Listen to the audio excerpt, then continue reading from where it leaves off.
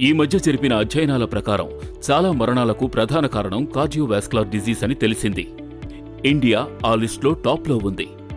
అందుకు కారణం అనారోగ్య జీవన శైలి ఎక్కువ ఉప్పు ఎక్కువ కొవ్వు ఉండే ఆహార పదార్థాలు. అవి మన ధమనుల్లో బ్లాకేజ్ని సృష్టిస్తాయి. ప్రవేశపెడుతున్నాం వెస్టేజ్ ఫ్లాక్స్ ఆయిల్ క్యాప్స్యూల్. ఇందులో ఉన్నాయి alpha linoleic acids omega three omega six ఇంకా ఒమేగా నైన్ ఫ్యాటీ యాసిడ్స్. అవి రక్తంలో కొవ్వు పెరగకుండా దమ్నంలో రక్తం గడ్డకట్టకుండా నిరోధిస్తాయి.